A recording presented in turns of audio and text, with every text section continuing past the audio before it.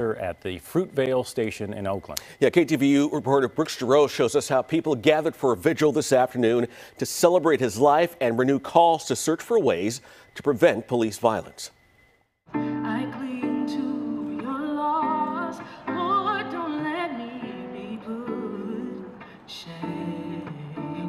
Reflecting and remembering what happened on New Year's Day 2009, Oscar Grant was shot in the back and killed by a BART police officer at the Fruitvale station. We still have a long way in our communities to go to ensure that justice is served for all mankind. His mother holding an annual vigil with a call to action stop the killings, stop the violence in Oakland, stop the blame game. Not only do we want the police to be accountable for their actions, but we want our communities to be accountable. By pushing for youth education programs, tackling mental health challenges, and reforming police training.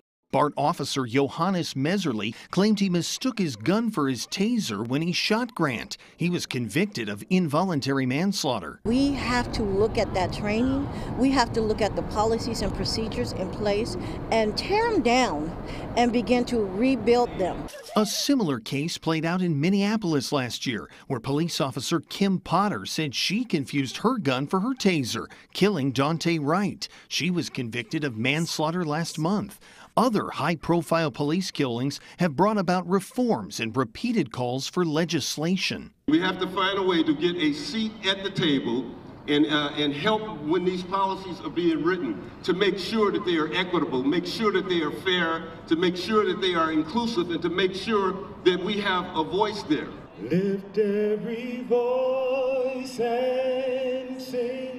In California, there has been some progress. Police use of force records are no longer secret. Some departments have implemented additional training, and a new law allows the state to decertify officers for serious misconduct, preventing them from getting rehired at another department without repercussions. Can't you feel change?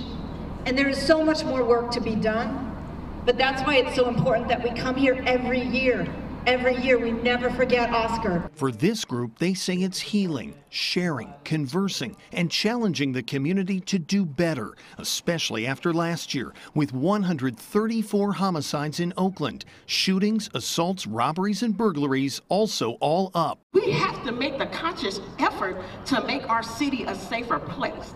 We can't keep expecting everybody else to do it for us. We have to step in.